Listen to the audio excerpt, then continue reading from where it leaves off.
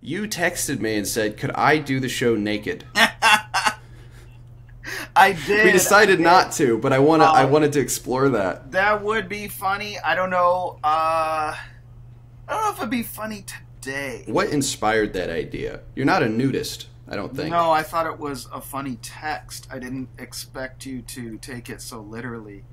Um, Oh, it wasn't an actual idea. It was an idea for a text, not an idea for a podcast.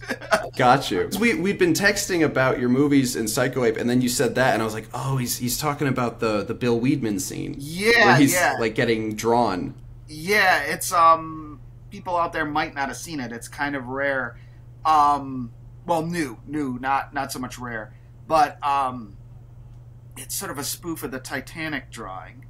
And if you don't know who Bill Whedon is, uh, he's about like 80, 80 plus years old, uh, and does a nude scene for this movie as a gag. So um,